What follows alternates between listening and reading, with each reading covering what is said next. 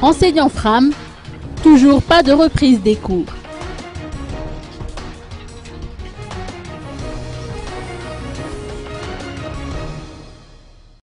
Les enseignants FRAM de l'EPP Indavamab ne comptent reprendre les cours qu'après versement de leur salaire. Les parents d'élèves ont affiché leur solidarité envers ces 11 enseignants. En effet, il était prévu qu'ils percevraient leur rémunération au titre de l'année 2013-2014 vendredi dernier.